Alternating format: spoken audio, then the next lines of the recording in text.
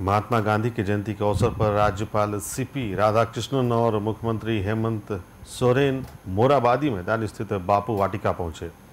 दोनों ने महात्मा गांधी के प्रतिमा पर मालार्पण कर पुष्पांजलि अर्पित की और श्रद्धा सुमन अर्पित किया। इस दौरान राज्यपाल सीपी राधाकृष्णन ने महात्मा गांधी को अहिंसा का पुजारी बताया और सीएम हेमंत सोरेन ने स्वच्छता का संदेश दिया। मौके पर राज्यसभा सांसद महुआ मांझी समेत अन्य मौजूद रहे। संग्रह शरीर आस्वाद सत् स्वदेशी स्पर्श भावना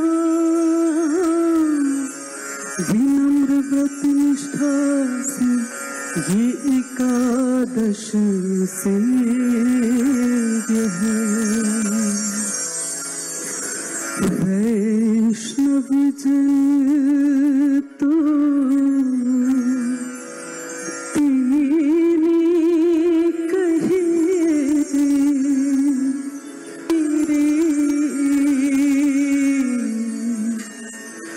वैष्णव जन तो तेरे वैष्णव जन तो तेरे कहे जे तीर Tarari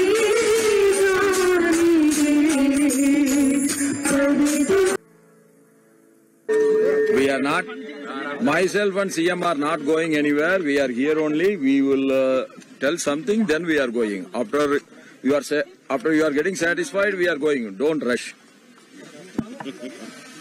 Today, our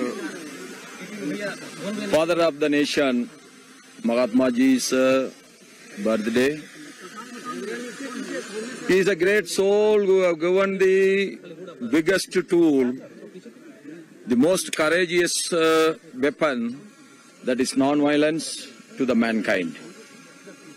Non-violence uh, is the only tool through which uh, the mankind can make peace and uh, maintain the peace. आज देश के लिए महान ऐतिहासिक दिन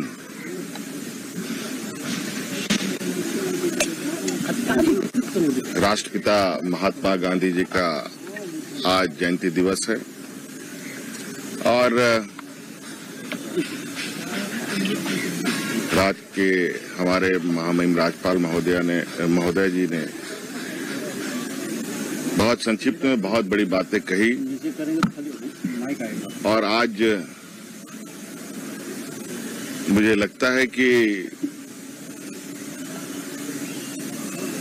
जो दिवस मनाने के लिए गली, मोहल्ले, चौक, चौराहे पे एकत्रित हो रहे हैं लोग कहीं ना कहीं आज महात्मा गांधी जी की जो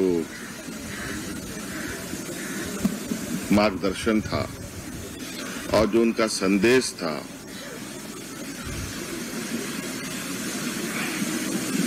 स्वच्छ मन, स्वच्छ सोच,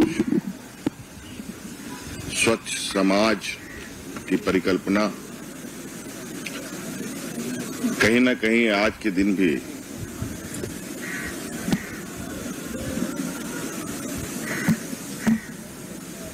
महात्मा गांधी जी को याद करने की आवश्यकता इसलिए पड़ती है कि उनके जो सोच और विचार हैं आज के दिन में भी